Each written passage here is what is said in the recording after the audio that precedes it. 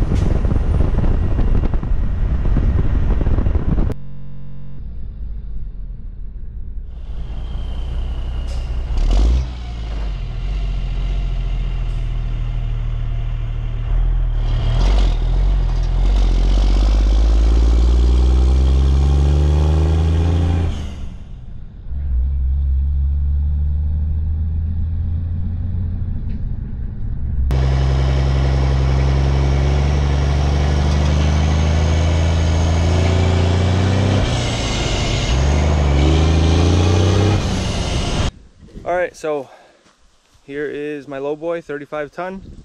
This is a 1986 CTA. It's ground bearing. I'm gonna check this thing out. I've never run a lowboy. I've never disattached one before. This is a ground bearing model. This is a good deal and it comes with a pony motor. So the pony motor hasn't been used in two years. I don't even know if it's gonna start up. It has electric start and a pull start. I got a battery, so we're gonna put that in there and we're gonna try to disattach this thing. I've never done that before. I brought this battery with me, but the guy had a forklift, so I didn't even need it. So now we're gonna put this in there and see if it'll fire up.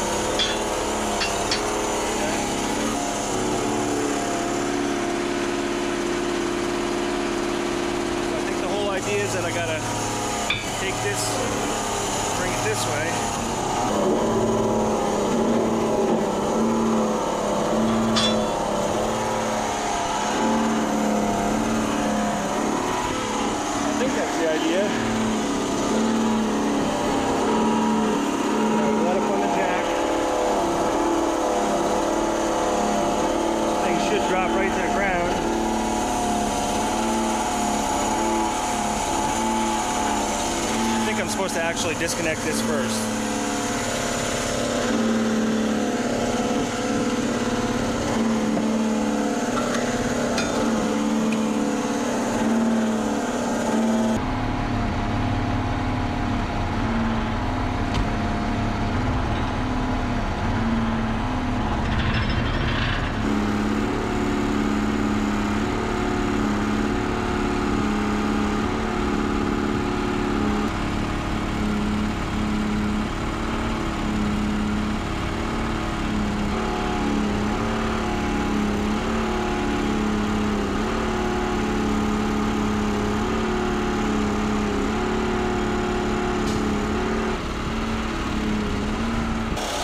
I didn't realize I had to put some blocks underneath there to keep it up off the ground like that.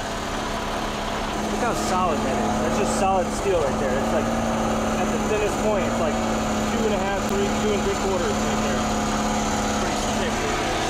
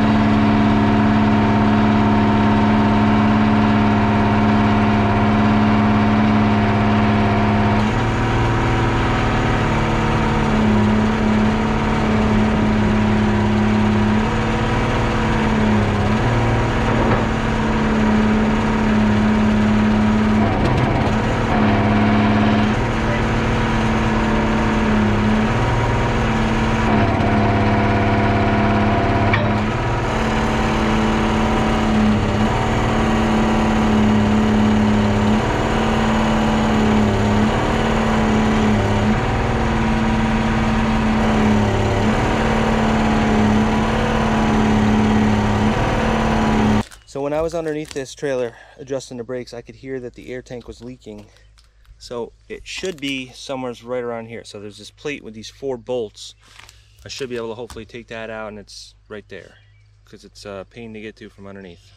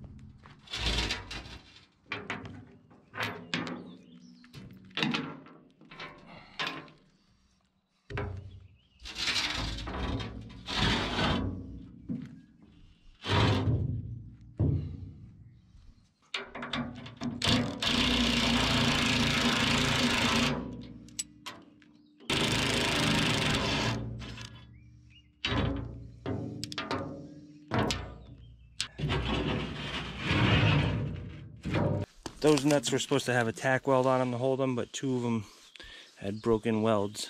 So I'd use a vice grip underneath there to hold the other side. So you can see this this air tank is not in good condition. I think it's leaking somewhere right around here, right there. But either way, that needs to be replaced. They're not that expensive.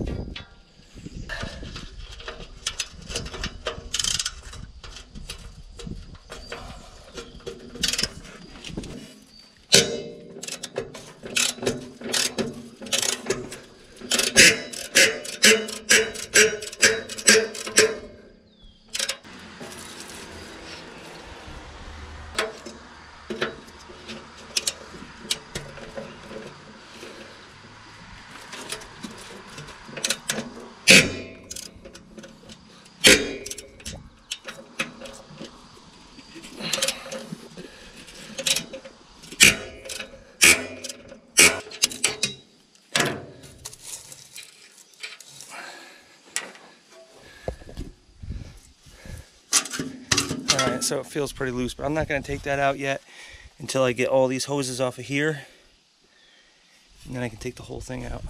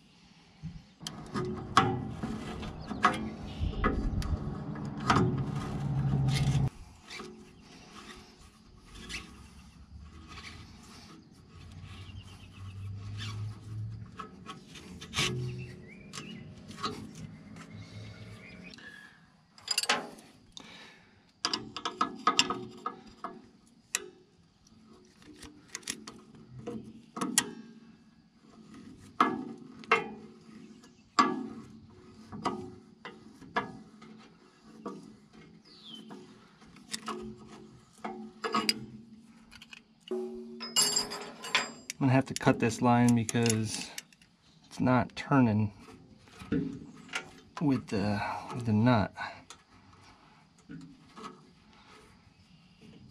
Probably end up just replacing this or part of it anyways.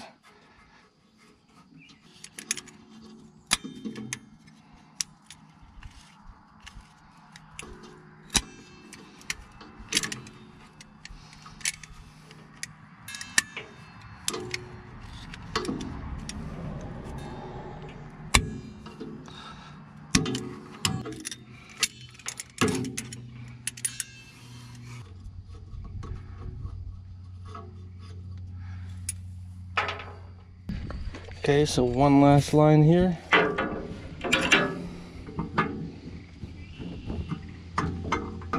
Looks like I'm gonna have the same kind of problem. This one doesn't want to turn.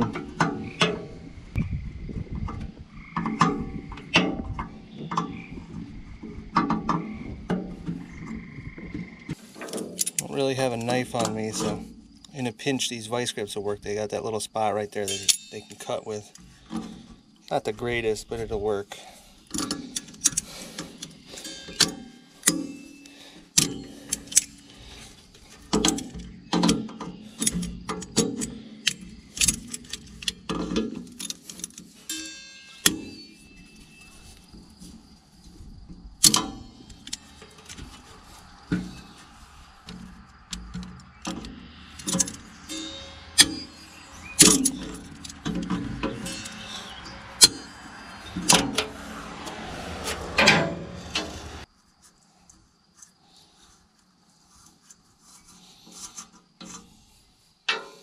All right, so this tank should come right out, hopefully.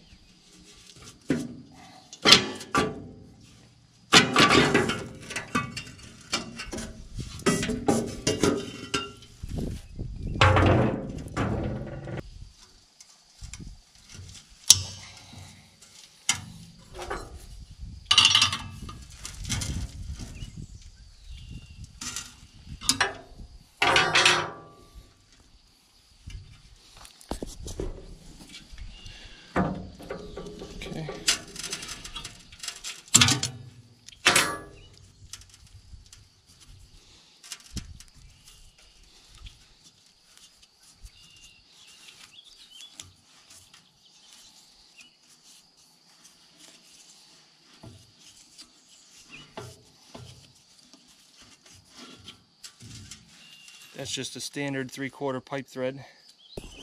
It's kind of hard to match up these tanks, so I think I found the right tank at uh, Fleet Pride, but I just want to bring this to, just to make sure.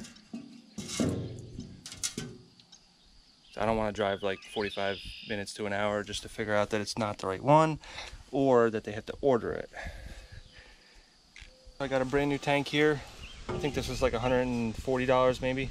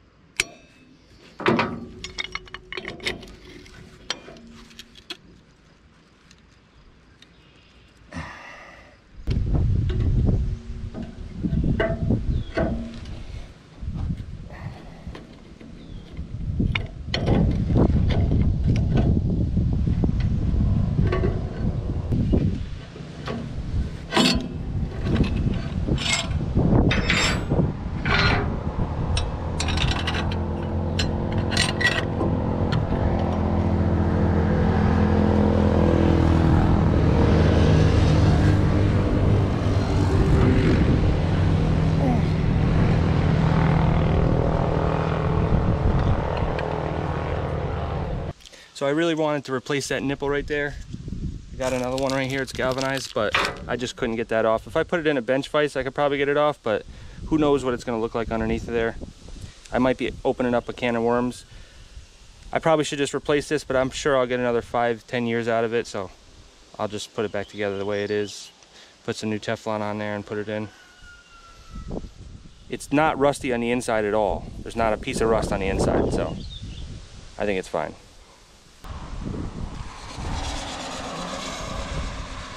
Right now I'm working in my field here and there's no tools here, but my garage is down that way, but I can't make it down my hill. I'll bottom out right there because it kind of goes down too quick.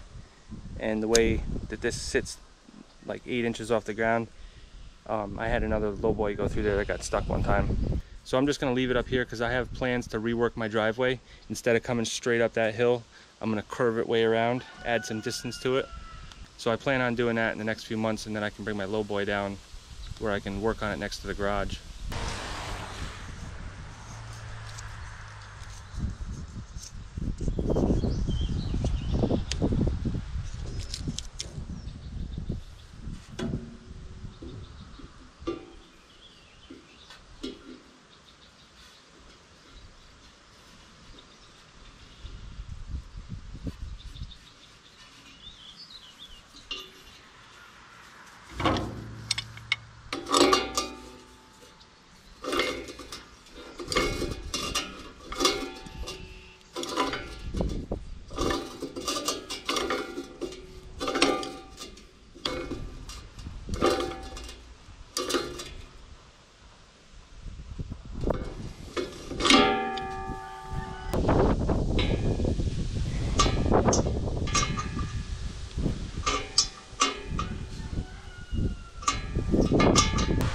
Got a new fitting to put right in there and it's already got the sealant on it.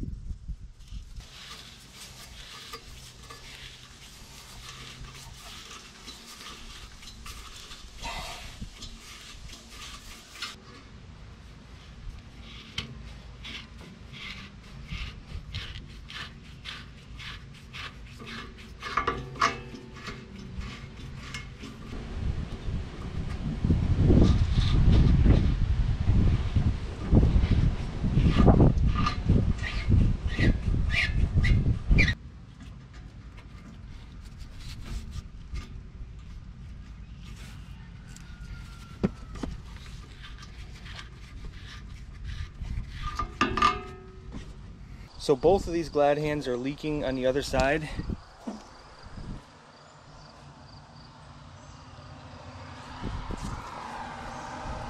So you can see there's just kind of a nub here. It's so rusted. Same thing with that one. This is the emergency brake here. So let me show you what happens when you hook it up.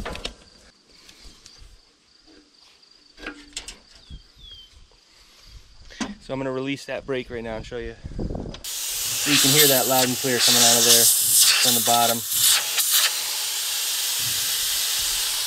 So the service brake leaks too. Let me show you. It blows a bunch of dust. That's how I knew that it was leaking.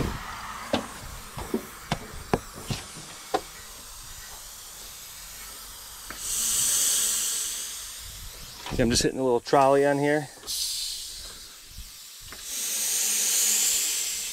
Leaking a lot. So both those need to be replaced. I got new glad hands here and I got like a through the bulkhead kind of fitting. So first things first, I got to get these out of here and I don't have plasma cutter or anything like that, so I'm just going to use a cordless grinder.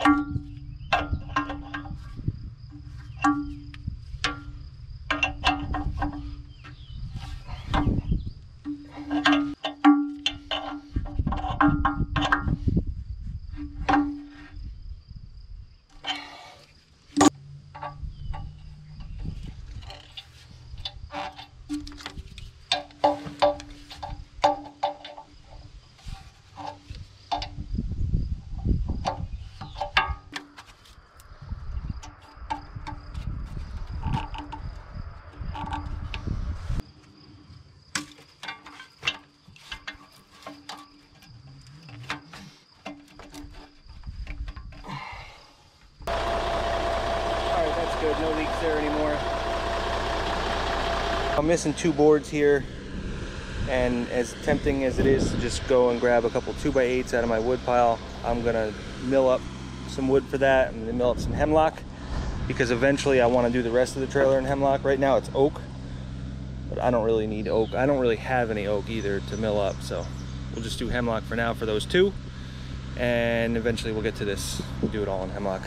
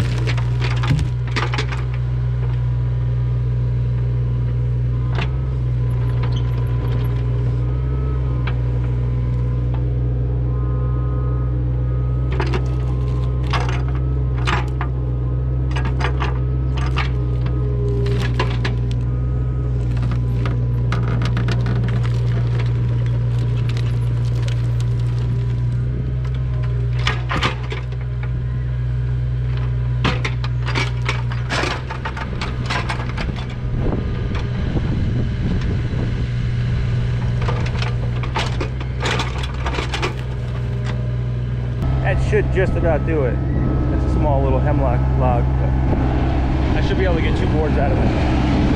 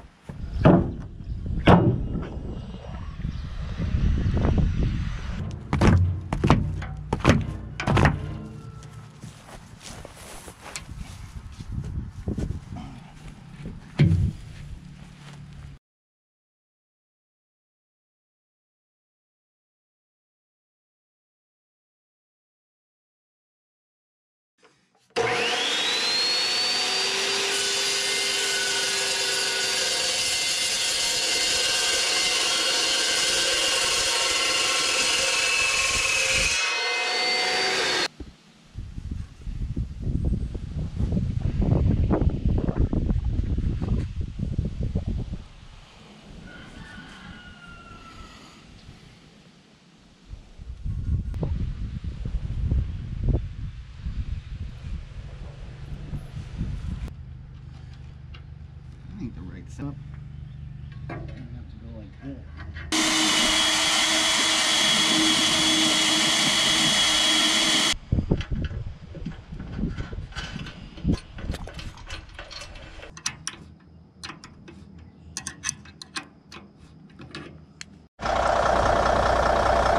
All right, guys. Well, the moment of truth is here.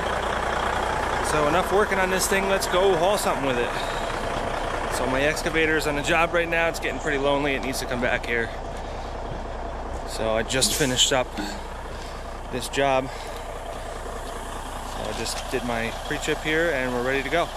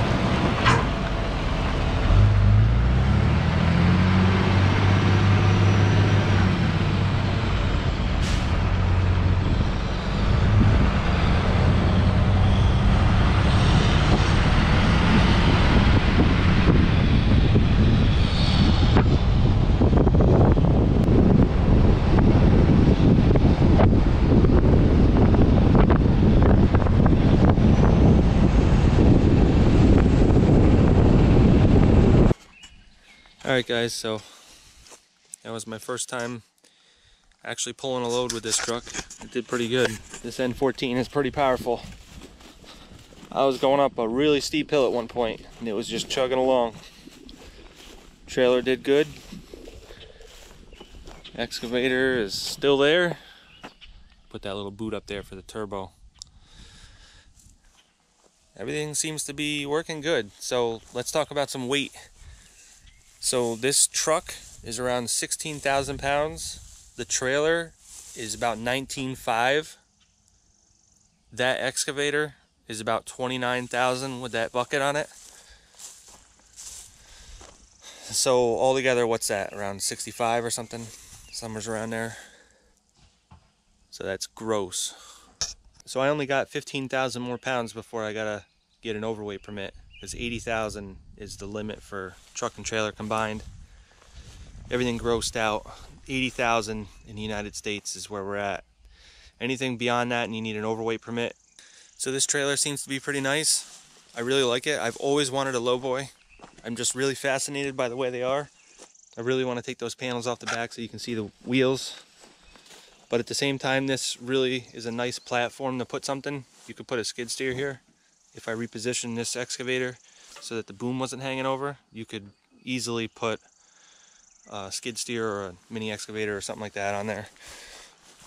I got plenty of room to move forward here.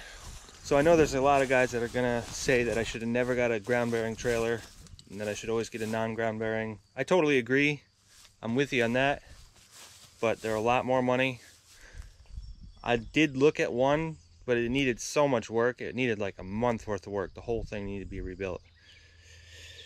But this one for 6700 that's a pretty good deal with the pony motor because I was either going to have to do that or pay like 2500 for the wet kit parts and then install the wet kit which I still may do eventually but for right now this gets me going. Um, and I didn't really need to do anything just kind of hook up and go. So one thing I'm going to work on is making some sort of jack back here to keep this neck up in the air because when you unhook it, it wants to just drag on the ground. You could put blocks in here. And I was doing that.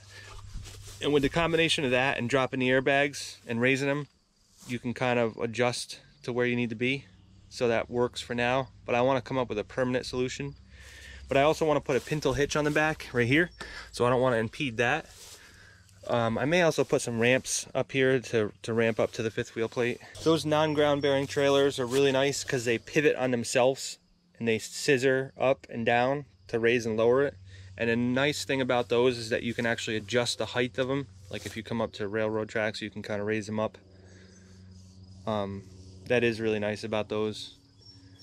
But other than that, you can spread the weight out on the jack.